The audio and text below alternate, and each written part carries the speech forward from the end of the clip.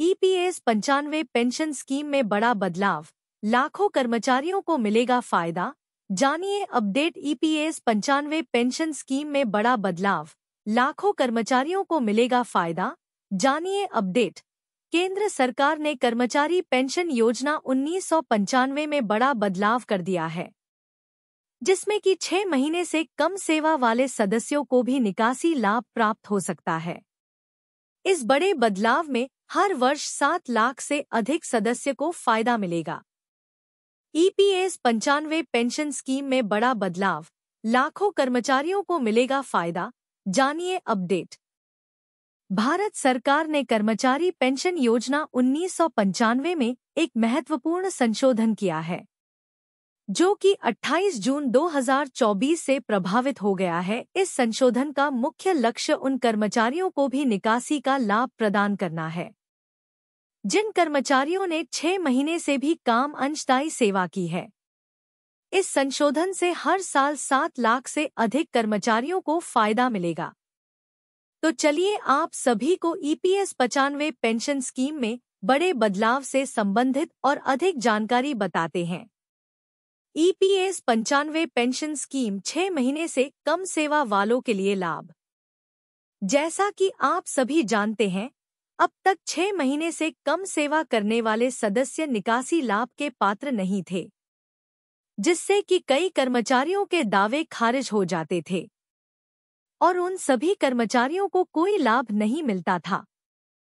इस नए बड़े बदलाव के बाद छह महीने से कम सेवा करने वाले कर्मचारी भी निकासी का लाभ प्राप्त कर सकते हैं, जिसके कारण उनकी वित्तीय स्थिति में सुधार होगा। Employ pension scheme table D में संशोधन। सरकार ने टेबल डी में भी बड़ा बदलाव किया है, जिसके कारण अब सेवा के प्रत्येक पूरे महीने को ध्यान में रखकर निकासी लाभ की गणना की जाएगी। पहले अंशदायी सेवा के छह महीने और उससे अधिक का समय पूरा करने के बाद ही सदस्य निकासी लाभ के पात्र होते थे। लेकिन अब वर्तमान में सेवा के प्रत्येक महीने के लिए निकासी की गणना की जाएगी। जिसके कारण सदस्यों को अधिक लाभ मिलेगा। मान लीजिए कि पहले दो वर्ष और पाँच महीने की सेवा के लिए उनतीस हज़ार आठ सौ पचास रुपये का निकासी लाभ मिलता था।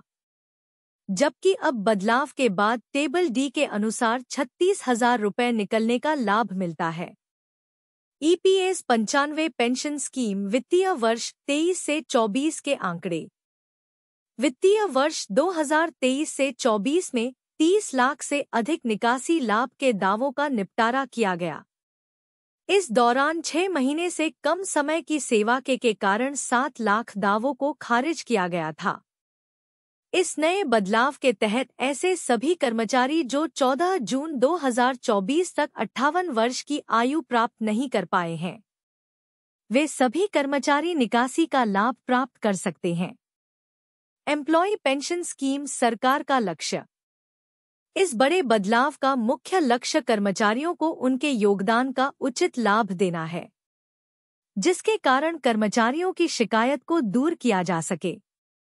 सरकार ने यह सुनिश्चित किया है कि निकासी लाभ की राशि सेवा के पूरे महीने और उसे वेतन पर आधारित होगी जिस पर अंशदान प्राप्त हुआ था। कर्मचारी पेंशन योजना में किए गए यह बड़े बदलाव लाखों कर्मचारियों के लिए एक बड़ी खुशखबरी लेकर आया है। यह कदम न केवल उनके भित्ति सुरक्षा को सुनिश्चित करता है, बल्कि उन्हें उनके योगदान का सही लाभ दिलाने में भी मदद करता है। कर्मचारी पेंशन योजना ईपीएस पचानवे न्यूनतम पेंशन, ट्रेड यूनियनों की चुप्पी, कोर्ट और जीत की राह पता नहीं। ईपीएस पचानवे पेंशन राष्ट्रीय संघर्ष समिति रायपुर के अध्यक्ष अनिल कुमार नामदेव का पोस्ट सुर्खियों में। सूचनाजी न्यूज़ छत्तीसगढ़। कर्मचारी भविष्य निधि संगठनी PFO employees provident fund organisation EPFO के सदस्यों का दर्द छलक रहा है। कर्मचारी पेंशन योजना उन्नीस सौ पंचानवे एम्प्लॉय पेंशन स्कीम उन्नीस सौ पंचानवे, के तहत ईपीएस पचानवे की न्यूनतम पेंशन ईपीएस पचानवे मिनिमम पेंशन सात हज़ार पाँच सौ रुपये की मांग है। इस पर पेंशनर्स लगातार सरकार पर दबाव बना रहे हैं, लेकिन मांग स्वीकार नहीं हो सकी है। इस पर ईपीएस पचानवे पेंशन राष्ट्रीय संघर्ष समिति रायपुर ईपीएस पचानवे पेंशन राष्ट्रीय संघर्ष समिति रायपुर के अध्यक्ष अनिल कुमार नामदेव का कहना है कि अभी हम सभी चौराहे पर खड़े हैं। हमें मंजिल तक ले जाने वाली राह कौन सी होगी? कोई बताने की स्थिति में नहीं है। अभी तक एक ट्रेड यूनियन और तीन सेवनिवृत्त संगठनों द्वारा मात्र एक एक पत्र जारी कर लगता है, अपने कर्तव्यों की इतिश्री कर ली है। आगे मसले को प्रबंधन से कैसे सुलटाया जाए? शायद अपने सामर्थ्य में कोई कोई न कोई कमियों के चलते आगे कदम नहीं बढ़ा पा रहे हैं। समस्या केवल सेवनिवृत्तों की है। ऐसा सोचकर बीकेएनकेएस एफसीसू जैसे ट्रेड यूनियन भी चुप्पी लगाए बैठी हैं। उनसे कोई सवाल पूछने वाला नहीं है कि विनियम बयासी के प्रावधान तो कार्यरत कर्मचारियों पर भी लागू है। ऐसा भी हो सकता है, वाहवाही तो एफसीआई सीटू से जुड़े रहे पुष्पधरण कैपुल्ली की होनी है।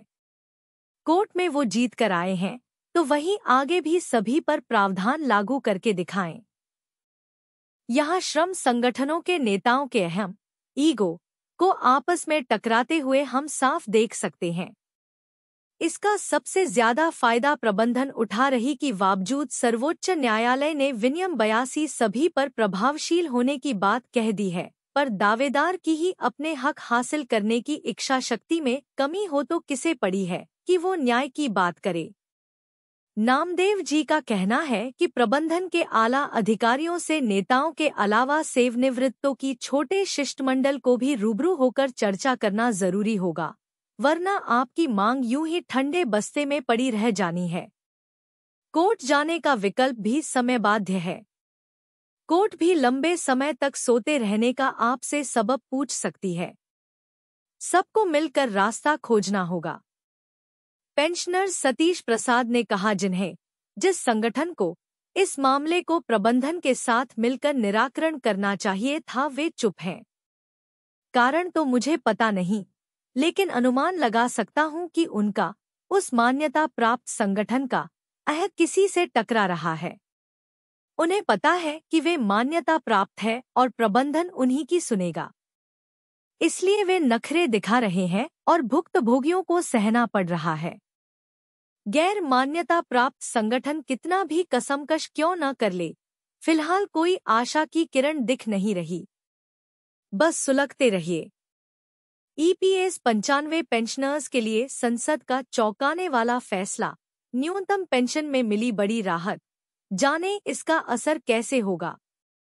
ईपीएस पंचानवे पेंशनर्स, कर्मचारी पेंशन योजना में पेंशन भोगियों के संगठन ईपीएस पंचानवे राष्ट्रीय आंदोलन समिति, एनएसी, के द्वारा शुक्रवार के दिन सरकार की ओर से अधिक पेंशन की डिमांड करने पर विचार करने का आश्वासन पेश किया है। ईपीएस पेंशन पेंशन फंड, के करीब अठहत्तर लाख पेंशन भोगी न्यूनतम मासिक पेंशन बढ़ाकर सात हज़ार पाँच सौ रुपये की डिमांड कर रहे हैं। चलिए जानते हैं, इसकी पूरी जानकारी। एम्प्लॉय पेंशन स्कीम में अभी केवल एक हज़ार चार सौ पचास रुपये औसत पेंशन।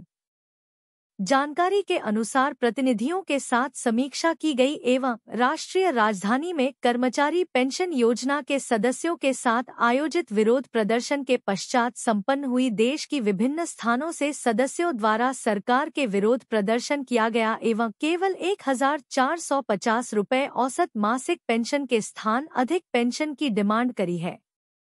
इसके अलावा निकाय द्वारा बताया गया है कि तकरीबन 36 लाख पेंशन भोगियों को हर महीने प्रति माह से भी कम पेंशन दी जा रही है। बुज़ुर्ग दंपत्ति का जीवन यापन भी मुश्किल।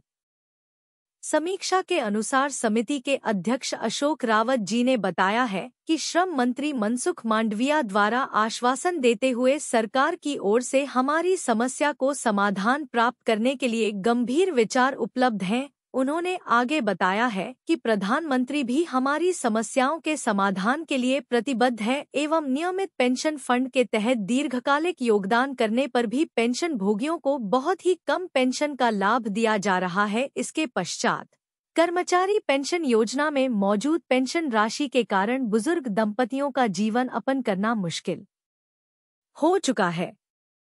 संबंधित खबरें फ्री सिलाई मशीन योजना के लिए रजिस्ट्रेशन करने में देरी की तो छूट जाएगा मौका। ईपीएस पंचानवे पेंशनर्स के लिए आई पॉजिटिव खबर, संसद में कांग्रेस करेगी समर्थन।